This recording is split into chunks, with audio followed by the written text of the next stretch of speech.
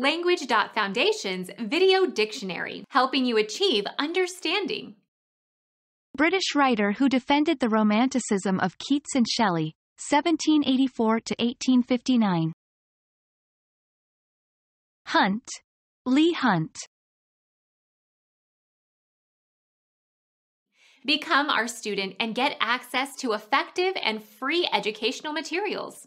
Subscribe to our channel to become a part of our growing community and to learn English effectively.